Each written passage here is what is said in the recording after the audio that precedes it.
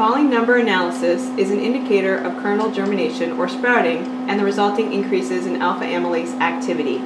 Alpha amylase is an enzyme that breaks down grain starch and converts it to sugar. Weigh out 300 grams of your sample grain.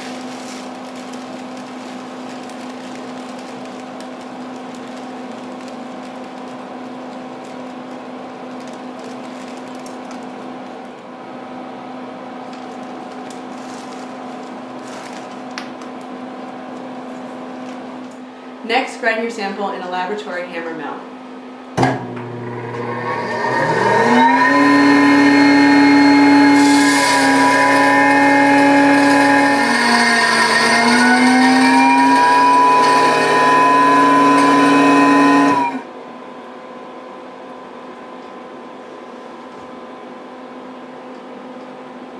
Making sure there's no lumps in your sample, measure out 7 grams.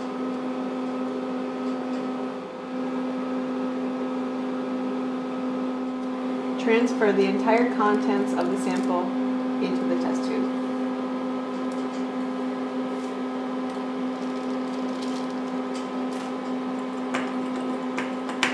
Add 25 milliliters of distilled water using a volumetric dispenser.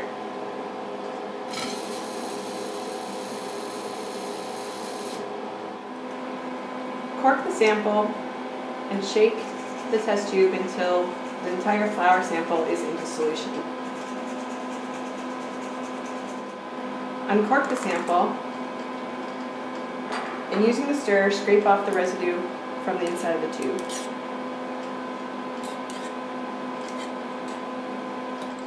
Place the test tube into the cassette and put the cassette into the hot water bath. Lower the arm to start the analysis. The analysis will start automatically. The time it takes for the stir to fall through the water and flour mixture to the bottom of the tube, including the 60 seconds of mixing, is the falling number.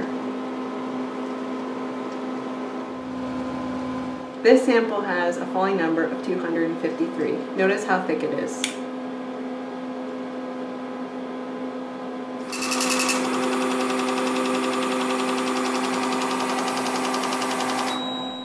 This sample has a falling number of 103. Look how watery it is.